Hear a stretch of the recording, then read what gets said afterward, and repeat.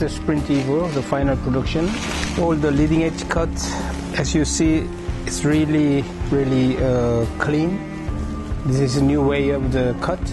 So with this new way of cut, we can have a really clean uh, leading edge shape, which helps a lot of performance. Uh, we reduce quite a lot of weight with the material, with the way of the construct. So all the, these small details gain a lot of uh, helping for the performers.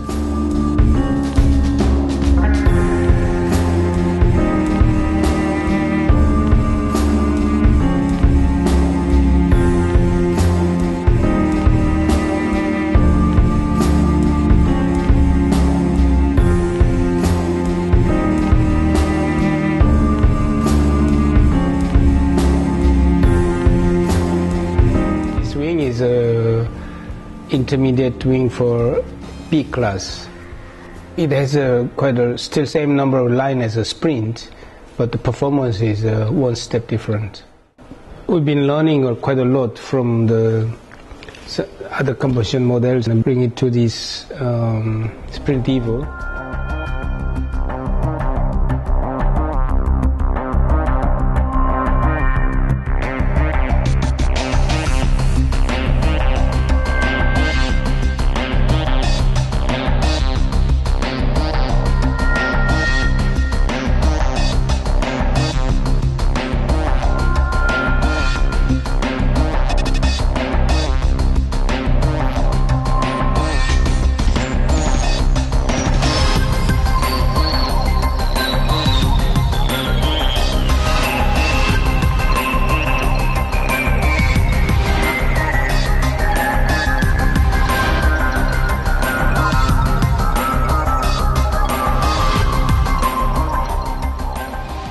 Now you are watching the trailing edge, and then the, on the trailing edge we put the half ribs in between the ribs, which helps uh, general shape of the three three-dimensional projection shapes as close as uh, original design possible.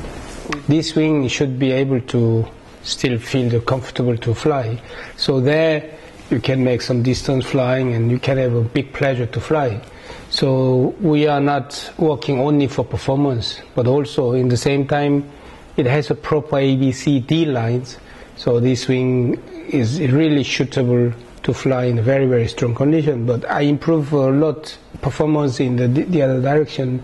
You know all the patterns and these to make a surface very clean and on many different way of to to make it more performance.